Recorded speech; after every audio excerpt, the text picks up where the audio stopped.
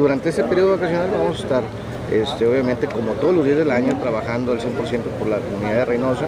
Este, tenemos el personal suficiente y debidamente capacitado para poder canalizar y darle un buen servicio a la comunidad en el sentido de una emergencia. Entonces, la recomendación que nosotros hacemos como servicio de emergencias a la población es simplemente que la, utilizar la línea de emergencias no es un juego, hay que utilizarla cuando realmente tengamos una, una emergencia y estemos en peligro. En esta época, ¿cuál ¿qué tipo de llamadas son las que reciben? Eh, bueno, pues ahorita por estadística las que más se reciben ahorita son las llamadas, eh, pues bueno, por personas que sufrieron una caída, accidentes carreteros, y accidentes relacionados en, en, centros recreativos.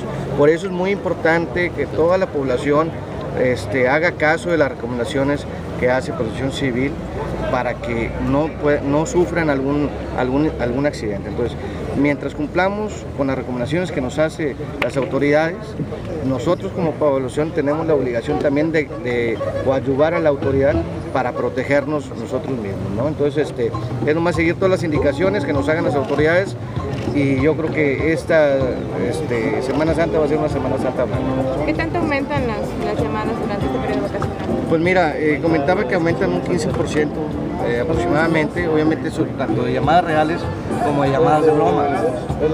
Obviamente les comentaba, las recomendaciones siempre es utilicen la línea de emergencias, para eso estamos, para servirles. Estamos debidamente coordinados con todas las autoridades este, de los tres niveles de gobierno y, pues bueno, es simplemente que la utilicen de una forma responsable, solamente cuando tengamos una emergencia. ¿De ¿Cada cuánto son llamadas de broma? pues mira, de un, de un 100% te puedo decir que tenemos ahorita un 55% de llamadas de bro, entre de broma y falsas y un 45% de llamadas reales. Ha disminuido, obviamente es muy importante la intervención de ustedes, los medios de comunicación, para exhortar a la población a que cuando utilicen la línea siempre sea una moneda responsable. Y obviamente con esto ayudaremos mucho a las autoridades para poder atender a quien realmente esté sufriendo una emergencia.